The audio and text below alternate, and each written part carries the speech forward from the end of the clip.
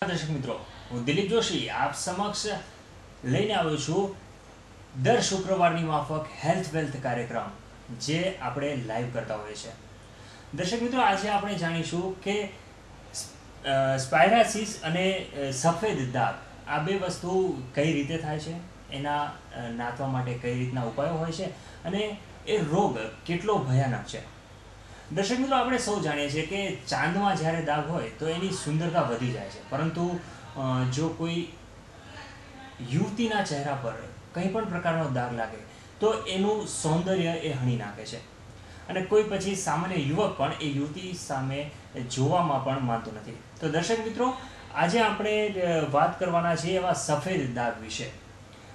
અને દર્શક મિત્રો, આપણી સાથે આજે છે ડૉક્ટર વૈદજી નાનકાણી.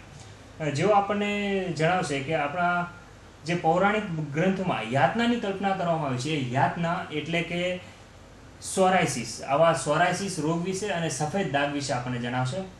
તો વૈજી સૌથી પ્રથમ મારો પ્રશ્ન એ છે કે આ સફેદ દાગ એ થયો એટલે હવે ક્યારે સારો નહીં થાય તેવું લોકો માને છે અને આ દેવી પ્રકોપ છે દેવી દેવતાઓની માનતા પૂરી નથી કરી એટલે આ કોડ થયો છે. તો આવું જે માનતા અત્યારે સમાજમાં પ્રવર્તી છે તો એના વિશે તમારું શું કહેવું છે? ભાઈ સફેદ દાગ જી. થાય એટલે આપણે માની દેવી દેવતાની પ્રકોપ છે. દેવી દેવતા એ આપણા મા બાપ જે હોય દેવી એટલે મા દેવતા એટલે બાપ. મા બાપનું કોઈ દિવસ બા બાપ બચ્ચાનું નુકસાન ન કરે. એવી રીતે દેવી દેવતા કોઈ નુકસાન ન કરે. એ ખોટી અંધશ્રદ્ધા છે કે આ રોગ અંદર દેવી દેવીને માનતા નહીં કર થાય. એવું નથી હોતું. સિમ્પલ રોગ છે. એમાં દેવી દેવતાનું કશું હોતું નથી. જી. જી. અ, તો વૈજી જરા અમારા દર્શક મિત્રોને એ પણ બતાવી દો કે આ સફેદ રોગ પ્રોપરલી થાય છે કઈ રીતે? જે રીતે આપણે બહારથી ચામડી જે જોઈએ છે એ ચામડી સાત થરની બનેલી હોય છે. આપણે બહારથી દેખાય તે ત્વચા દેખાય પણ એ બનેલી હોય સાત થરની. જે રીતે કાંદાના કોતરા હોય એ રીતે. એક પર એક પડ્યો. એમાં ચોથો થર જે છે, એ મેનોલિન કહેવાય કે રંગગ્રંથિ કહેવાય. તેના બગાડ થવાથી આ રોગ થાય. મેનોલિન એના લીધે આપણો રંગ નક્કી થાય. આપણે ઘઉંવા રંગના છે, કાળા છે કે ગોરા છે, એ મેનોલિનના નક્કી થાય. તેમાં બગાડ થવાથી રોગ થાય. મેનોલિન એટલે રંગગ્રંથિ રંગગ્રંથિમાંથી રંગ ઉડી જાય, એટલે દાગ સફેદ થાય. તે કંઈ રોગ નથી, બહુ મોટો રોગ નથી.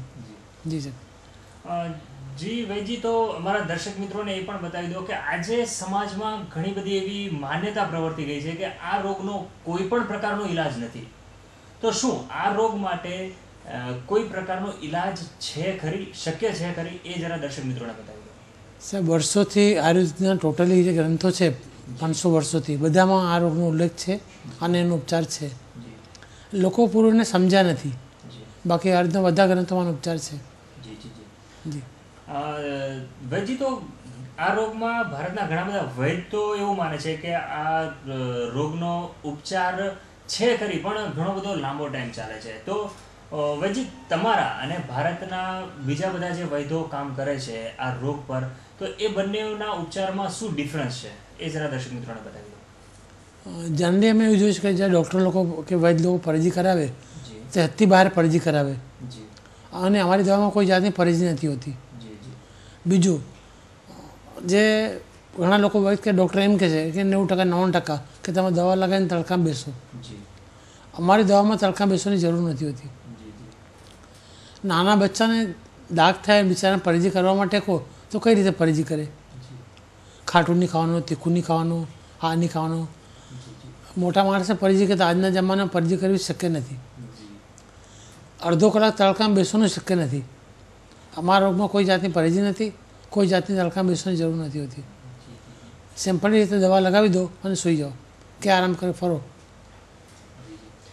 જીભાઈજી તો આ રોગમાં ઘણા બધા, આ રોગને કારણે ત્રાસીને પ્લાસ્ટિક સર્જરી કરાવે છે, સ્ક્રીન ગ્રાફ્ટિંગ પણ કરાવે છે, જે અમારી પાસે અત્યાર સુધી કોલર્સનું લિસ્ટ આવ્યું છે. એમાં ઘણા બધા સ્ક્રીન ગ્રાફ્ટિંગ અને પ્લાસ્ટિક સર્જરીમાં વધારે પડતા લોકો આ રોગ પછી જોડાયા છે. તો આ દરેક વસ્તુ કરાવવી ફરજિયાત બને છે ખરી. આ રોગમાં અને કેટલા પ્રમાણમાં એને રોગને અટકાવવો આપણાથી શક્ય બને તેવું છે.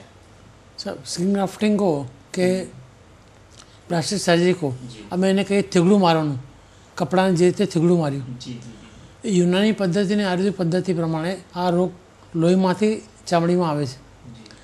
તો ચામડીને રફુ કરવાથી તો રોગ તો લોહીમાં રહ્યો ને. એટલે કોશિશ કરવી છે કે પહેલાં રોઈ સુધરે. થીગડું મારવાથી પ્લાસ્ટિક સર્જરી કરવાથી રોગ નહીં મટે.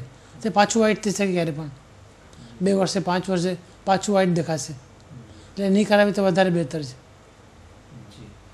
જીભાઈજી, જેવી રીતે તમે વાત કરી કે અમે કોઈ પણ પ્રકારની પરેજી કરાવતા નથી. જો બીજા ડૉક્ટર પાસે કે બીજા વૈદ્યજી પાસે આપણે જઈએ છીએ તો કંઈ પણ પ્રકારનું લોશન કે દવાઓ લગાવીને આપણને કમસે કમ એક કલાક માટે થઈને તડકામાં બેસવાનું કહે છે અમુક ખાવા પીવામાં પરેજી રાખવાનું કહે છે. તો એ વસ્તુ તમારામાં શા માટે નથી આવતી? કઈ રીતે તમે એના પરેજી વગર આ વસ્તુ શક્ય બનાવો છો? ભાઈ એવું છે કે આમાં અમે જોયું છે આટલા વર્ષોના અનુભવમાં કે દરેક વૈદ પોતપોતાની રીતે પરેજી કરાવે છે. હવે રાજકોટના એક વૈદ છે એ કહે છે કે સફેદ વસ્તુ નહીં ખાવાની. જી જી. દહીં નહીં ખાવાની છાશ નહીં પીવાની. સફેદ સાથે પાછું કે છે સફેદ કપડાં પણ નહીં પહેરવાના. કપડાં પહેરવાથી તો શું સંબંધ આવે ચામડીને? બરાબર છે. પરજી પણ મર્યાદામાં રહીને કરાવે તો ઠીક છે. દરેક માણસ પોતપોતાની રીતે પરજી નક્કી કરે. જે આયુર્વેદના ગ્રંથોમાં નથી તેવી પરજી કરાવે છે. તેનો કોઈ મિનિંગ નથી હોતો. પરજી જરૂર હોય ત્યાં કરાવીએ. અમે જે બચ્ચામાં પેટના કૃમિ હોય એને ફક્ત પરજી કરવા માટે કહીએ. તે પણ મર્યાદિત. આજના જમાનામાં પરજી કરવી શક્ય નથી. જી હા કારણ કે આટલો હાઈટેક જમાનો આવી ગયો છે. જો પરેજીમાં આપણે ટાઈમ રાખીએ છીએ તો એટલા ટાઈમમાં આપણે બીજા પણ ઘણા બધા કામો કરી શકીએ છીએ. સાહેબ આયુર્વેદમાં એટલી બધી પરેજી છે એ બધી પરેજી અગર વાંચો તમે બધું વાંચીને કહેશો કે સાહેબ આ નહીં ખાવાનું? તો નહીં ખાવાનું. પછી શું ખાવાનું? તો બચે જ નહીં કંઈ બરાબર વાત છે. પગલે આયુર્વેદમાં ગ્રંથમાં એવું કીધું છે કે મગની દાળ રોટલી ખાઓ. તે આજના જમાના શક્ય જ નથી. માણસ ઘર માટે કામથી બહાર નીકળતો હોય એ બહાર ફરતો હોય તો મગની દાળ રોટલી ક્યાં ખાવાનો છે? અને હોટલમાં ક્યાં મળવાનું છે? કે આજે લગ્ન સમારંભમાં કે પ્રોગ્રામમાં ગયા હોય, તો માણસ શું ખાય? એટલે અમે આજના જમાનાના અનુરૂપ દવા બનાવી છે. કે જે કોઈ પણ માણસ કરી શકે. એને કોઈ વાતની તકલીફ ન થાય.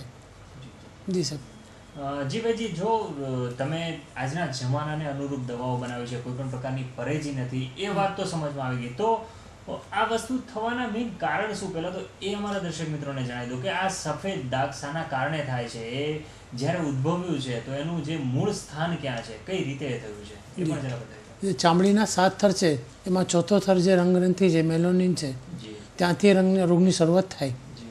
એ બગડવાથી રોગ શરૂ થાય. જી. ચોથા થરથી રોગ શરૂ થઈને ધીરે ધીરે ઉપર આવે. જી જી. એ રીતે ઉપર આવે એ પછી શરીર પર દેખાવ પછી શરીર પર દેખાવા માંડે. જી.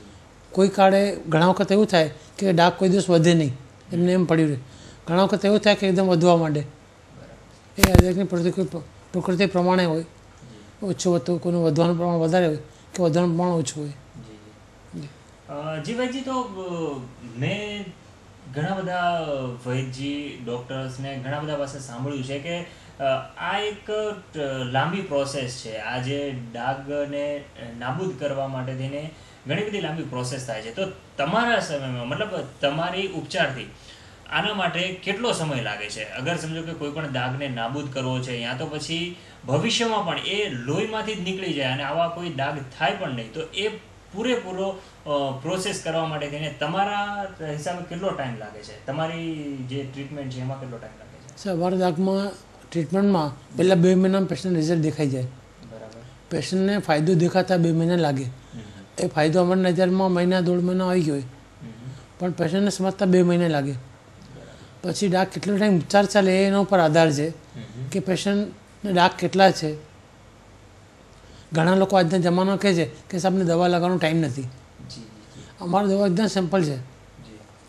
ક્રીમ આવે લગાવી દો કે લોશન આવે લગાવીને સૂઈ જાઓ કે ફરતા રહો. એમાં કોઈ જાતની વાસ નથી હોતી કે એને તડકાની જરૂર નથી હોતી. તો બે મહિનામાં રિઝલ્ટ દેખાઈ જાય. પછી કોઈ કહે છ મહિના ચાલે કોઈ આઠ મહિના ચાલે કે બાર મહિના ચાલે. બહુ ઇઝી પ્રોસેસ છે અમારી.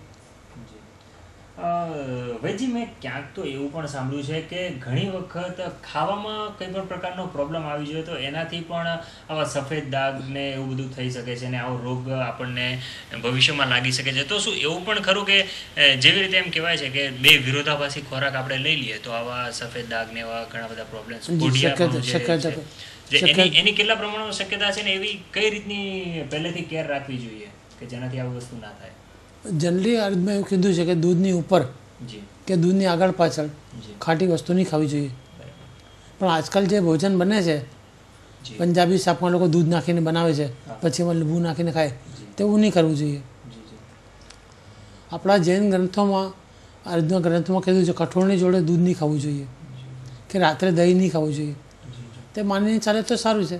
જી. જી. જીભાઈજી તો એક રીતે જોવામાં આવે તો તમા તમે કઈ રીતની દવા અને જે રોગ થાય છે એના પ્રમાણમાં કઈ રીતના સમજો કે કોઈને લોશન આપો છો કંઈ ઘણી બધી દવાઓ આપો છો તો તમારી રીતે કઈ રીતે એને ઉપચારમાં દવાઓનો ઉપયોગ કરો છો અને કઈ રીતે એને ટ્રીટ કરો છો?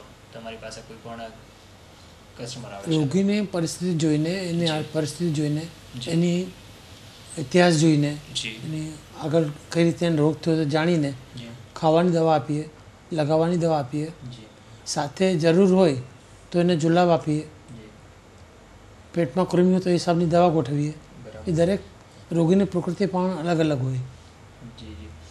એટલે જનરલી જોવામાં આવે તો આ દવાઓનો સંપૂર્ણ ઉપચાર કરે તો એના માટે કોઈ પણ વ્યક્તિ એમ સમજે કે ભાઈ મારે મિનિમમ કેટલા ટાઈમમાં મારો દાગ મળશે અને આ દાગ દરેક પ્રકારના દાગ મટી શકે છે ખરા તમારા હાજી દરેક પ્રકારનો દાગ મટાય. કફનો દાગ જે કહેવાય જે. ચીકણો ગ્લોસી વ્હાઇટ હોય તેને વધારે વાર લાગે. જે રીતે દિવાલ પર રંગ પેન્ટ પેન્ટ કરાવીએ તે ચીકણું હોય તે વધારે ટાઈમ લાગે મટવામાં. બાકી ડાક બધા માટે. તો જનરલી એમ કહેવામાં આવે છે કે આ રોગ એક ત્વચાનો રોગ છે. તો એ વાતમાં કેટલું તથ્ય છે કે તમે એમ કહો છો કે આ રોગ એ બ્લડથી થતો છે? સમજો કે તમે કોઈ પણ પ્રકારની પ્લાસ્ટિક સર્જરી વગેરે કરાવ્યું છે તો થીંગડું લાગ્યું છે. તમારા લોહીમાં તો આ રોગ છે. તો ઘણા લોકો માને છે કે આ ત્વચાનો જ રોગ છે. તો એના માટે કઈ રીતનું તથ્ય છે? તમે શું વિચારો છો? સબ યુનાની પદ્ધતિમાં લોહીને પણ એક દોષ માનવામાં આવ્યો. વાયુ પિત્ત અને કફ એ રીતે લોહીને પણ એક દોષ માનવામાં આવે છે. ત્વચા એ લોહીની મલાઈ છે.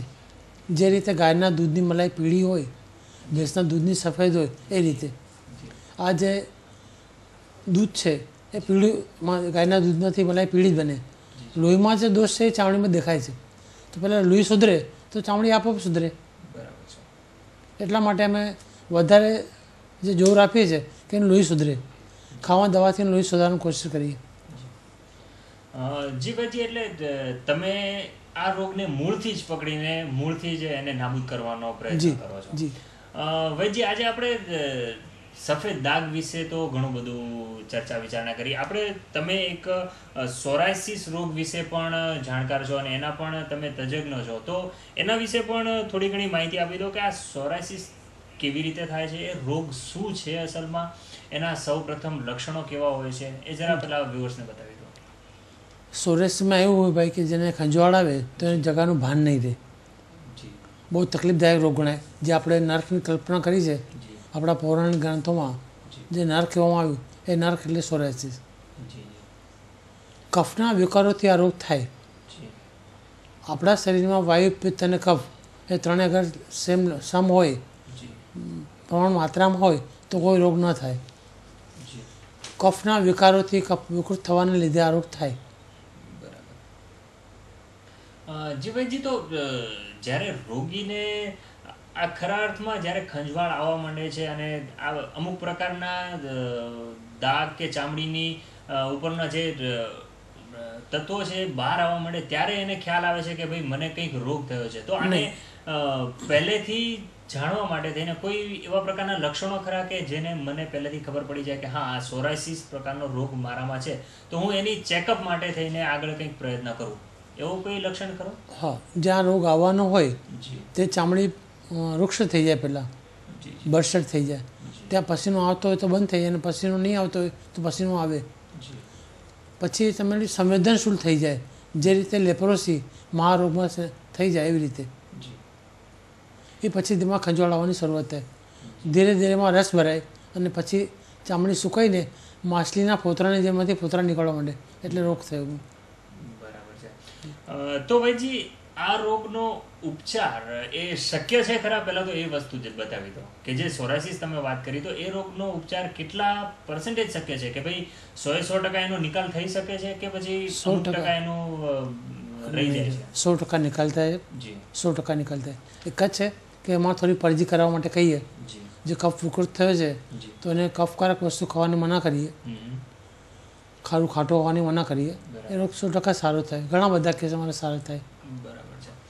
વૈજી તમારી પાસે અગર સોરાસિસના દર્દી આવે છે તો એને શરૂઆત તમે ક્યાંથી કરો છો? કે હા તમને ખ્યાલ આવી ગયો કે ભાઈ આ સોરાસિસ નામનો રોગ છે તો એને ઉપચાર કઈ સ્ટેપથી તમે સ્ટાર્ટ કરો છો અને ક્યાં સુધી આ સોરાસિસની ટ્રીટમેન્ટ ચાલે છે? એમાં પણ કેટલો સમય લાગે છે? એ જરા દર્શક મિત્રોને બતાવી પંદર દિવસમાં મને સંતોષ થઈ જાય કે મારી દવા પ્રોપર ચાલી રહેલી છે. બરાબર છે. બેથી ત્રણ મહિનામાં રોગ મટી જાય. પણ એનામાં એ પ્રમાણ હોય કે એને કેટલા જગ્યાએ સોરેસ છે. પૂરા શરીર તો બાર મહિના લાગે છ મહિના લાગે. મટે સો ટકા. પણ પેશન્ટને પંદર દિવસમાં સંતોષ થઈ જાય કે મારી દવા બરાબર ચાલી રહી છે. બે મહિનામાં એને સંતોષ થાય ઘણા ડાક મટી જાય. જીભાઈજી તો આમાં તમે શરૂઆત ક્યાંથી કરો છો? તમારી પાસે દર્દી આવ્યો છે કે તો સૌ પ્રથમ તો એની ટ્રીટમેન્ટ ડાયરેક્ટલી તો તમે નહીં. એની એની તમારે એક વૈદ્યની લાઈનમાં કહેવાય. વૈદ્યની લાઈનમાં કહેવાય તો એમાં એક્સરે કે આવી કોઈ વસ્તુ તો આવતી નથી. તો એને તમે કઈ રીતે આગળ ટ્રીટ કરો છો અને તમને કઈ રીતે એનો ખ્યાલ આવી જાય છે કે હા દરેક વસ્તુ આ વસ્તુ પ્રોપર થઈ છે. સોરેસ એવો રોગ છે કે તમે બે વખત જોયા હોય તમને પણ ધ્યાનમાં આવી જાય. અને પેશન્ટને પોતે પણ ધ્યાનમાં આવી જાય કે આ રોગ આવી રીતનો છે. એમાં અમે લોકો લગાડવાની દવા આપીએ. ખાવાની દવા આપીએ. જરૂર હોય તો એને પંચકર્મ કરા પંચકર્મ કરાવીને એને વમનનો દોષ, વમન કરાવીને કપ બહાર કઢાવીએ. પણ એક બહુ ઓછા કિસ્સામાં બને. એના કપનું સમાન થાય, એટલે રોગ સારો થાય. જી. જીભાઈજી તો અગર મને અત્યારે સોરાયસિસ કે એવો કોઈ પણ પ્રકારનો રોગ નથી. જો મારે અત્યારથી કોઈ વસ્તુની કેર કરવી હોય કે મને ભવિષ્યમાં પણ આવો કોઈ રોગ ન થાય, તો એના માટે મારે પ્રી કેર, જે એક ડોક્ટરી લાઈનમાં કહેવાય છે, તો એના માટે થઈને મારે શું કરવું જોઈએ? કયા રોગ માટે? સોરાયસિસ માટે આપણે જે ચર્ચા કરી રહ્યા છે એમાં જો સોરાયસિસ જનરલી સમુદ્ર કિનારે રહેતા લોકોમાં વધારે થાય. ઓકે. જે રીતે આ ભાગમાં વલસાડ છે વાપી છે એ ભાગમાં રોગ વધારે થાય. ગુજરાત સુરતના પણ ડુમસના કિનારા લોકો રહેતા એ કિનારામાં વધારે થાય. એટલે વૈજી આ દરિયા કિનારે રહેતા લોકોમાં વધુ પડતો આ રોગ જોવા મળે છે. એનું મુખ્ય કારણ શું? કે ભાઈ શા માટે દરિયા કિનારે રહેતા લોકોમાં વધુ પડતો આ રોગ જોવા મળે છે? સમુદ્રની હવાને લીધે ચામડી વૃક્ષ થઈ જાય. એના લીધે ત્યાં વધારે રોગ થાય. જી જી જી. અને કફનું શમન ત્યાં ઓછું થાય. કફ વકરે એટલે આ રોગ વધે. જી. વૈજી તો તમે આ રોગમાં પરેજી રાખવાની કીધી. તો એ પરેજી શું રાખવાની એ ફરીથી અમારા દર્શક મિત્રોને બતાવી દો કે જો એમના સમાજમાં કે એમના ઘર પરિવારમાં પણ આવો કોઈ રોગ હોય છે તો એના માટે એમને શું પરેજી રાખવી એ ફરીથી અમારા દર્શક મિત્રોને જરા બતાવી દો. કફકારક વસ્તુ ખાવાની મના કરીએ અમે. ખારું ખાટું તીખું હોવાની મના કરીએ. આથવાવેલી વસ્તુ ખાવાની મના કરીએ. શક્ય તો એવી રીતનું ભોજન કરે કે જેમાં કફ નહીં વધે. જે રીતે કેળા છે જમરૂક છે સફરજન છે સિંગદાણા છે એનાથી કફ વધે. કફ નહીં વધે તો રોગનું ધીરે ધીરે સમાન થાય. ગરમ પાણી પીએ તો સૌથી સારું. જી. ગરમ પાણી પીવાથી કફ ઓછો થાય. જી. જી. અ, વૈજી તો જ્યારે ઘણી વખત આપણે જોતા હોઈએ છીએ કે નાના બાળકને પણ આવા રોગ થાય છે તો નાના બાળકને જ્યારે રોગ થાય છે તો એમાં કેટલા પર્સન્ટેજ સારા થવાની શક્યતા છે? અને એના માટે પણ સેમ આ જ પરેજી બધી કરવી પડે છે બચ્ચાને પરેજી બચ્ચાને પરેજી તો કરવી પડે. પણ આયુર્વેદિકની કમાલ છે કે એમાં પણ એ રોગ સારો થાય છે. જનરલી એલોપેથીમાં બચ્ચાઓ માટે કોઈ ઇલાજ નથી. જામનગરમાં અમારી પાસે કેસ આવેલી કે પાંચ વર્ષનો બચ્ચો હતો તો ડૉક્ટરે ના પાડી દીધી. કે સ્ટેરાઇડ સેવાની કોઈ દવા નથી અને અમે શક્ય સારું નહીં કરી શકીએ. તો આયુર્વેદિકમાં કમાલ ભગવાનની એની કમાલ છે કે સારું થાય સો ટકા સારું થાય. જી. અ, જી તો આપણે પણ માનીએ છીએ કે આજે જે એલોપેથી દવાઓ છે એના કરતાં આયુર્વેદિક દવાઓ એક સ્ટેપ અહેડ જ છે એક સ્ટેપ આગળ જ છે. અને આજે પણ ઘણા બધા લોકો એમ કહે છે કે ભાઈ આયુર્વેદથી જે ઉપચાર મળે છે જે વસ્તુ એમાંથી વ્યક્તિ દર્દી જે બહાર આવે છે રોગમાંથી એ એના પછી ભવિષ્યમાં પણ ક્યારે એ રોગથી નથી પીડાતો. કારણ કે એના જે મૂળથી જ હોય છે આ રોગ નાબૂદ થઈ ગયો છે.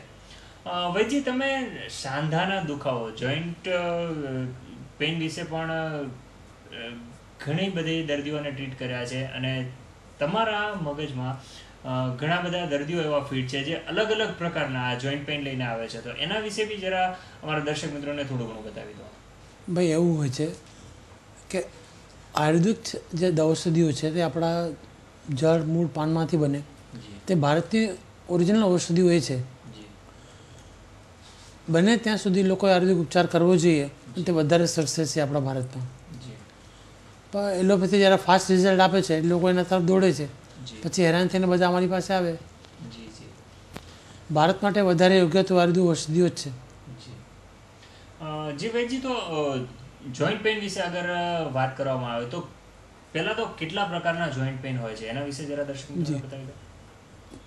આયુર્વેદિકમાં વીસ એંસી પ્રકારના વાયુ કીધા છે. બરાબર. એમાં ગાઉટ્સ આવે સાંધાનો દુખાવો આવે રોમેટિક અર્થરાઇટ્સ આવે ઘણા બધા એવા પ્રકાર છે. તો રોગ તો બધી જગ્યાએ સારો થાય. પણ એસી પ્રકારના વામાંથી કોને કેવી રીતનો વા છે એ પેશન્ટને જોયા પછી નક્કી થાય અને ટ્રીટમેન્ટ થાય માણસ સારો થાય. જી. જી ભાઈજી તો સમજો કે જોઈન્ટ પેઇન કોઈને પણ હોય છે. તો એમાં શરૂઆત ક્યારથી ખબર પડે છે અને ક્યારથી ક્યાંથી શરૂઆત થાય છે? જોઈન્ટ પેઇનમાં તમે કઈ રીતે ટ્રીટ કરો છો તમારા દર્દીઓને? એ જરા દર્શક મિત્રોને બતાવી દો. એમાં એવું હોય કે જે બચ્ચાઓ જનરલી લેડીઝને રોગ વધારે થાય. જી જી. અમુક રોગ એવો હોય કે જે ત્રીસ વર્ષની ઉંમર પહેલાં થાય. અમુક રોગ એવા હોય કે ચાલીસ વર્ષની ઉંમર પછી થાય. જી. એ પ્રકારના રોગ હોય. જી. એ હિસાબે એની દવા ગોઠવાય. જી દર્શક મિત્રો આજે આપણે અ, વૈદજી નાનકાણી સાથે આપણે ઘણી બધી ચર્ચાઓ કરી. સફેદ રોગ સફેદ દાગ વિશે અને સ્વાયરાસિસ વિશે પણ ઘણી બધી ચર્ચાઓ કરી અને એ રોગોના ઉકેલ માટે પણ આપણને સૌથી સંતુષ્ટ જવાબ આપ્યો. જેઓ પોતે આજે વિશ્વભરમાં પ્રખ્યાત છે અને તેમના દર્દીઓ આજે પણ સાંત્વના મેળવે છે કે ઘણી બધી એલોપેથી દવાઓ કરી તેમ છતાં પણ એમને કોઈ રિઝલ્ટ નહોતું મળતું. જ્યારે તેમણે આયુર્વેદિક દવાથી તેમને સચોટ રિઝલ્ટ બતાવ્યું છે. તો દર્શક મિત્રો, આવા જ આવતા શુક્રવારે નવા રોગો વિશે ચર્ચા કરીશું અને તેમના માસ્ટર્સને આપણે તે દર્દના ઉપચાર વિશે થઈને આપણા સ્ટુડિયોમાં બોલાવશું અને આપ સમક્ષ રજૂ કરશું. તો દર્શક મિત્રો, આવતા શુક્રવારે ફરી મળવાના ક્રમ મુજબ હેલ્થ વેલ્થ કાર્યક્રમમાં મળવાનું ચૂકશો નહીં. જય હિન્દ.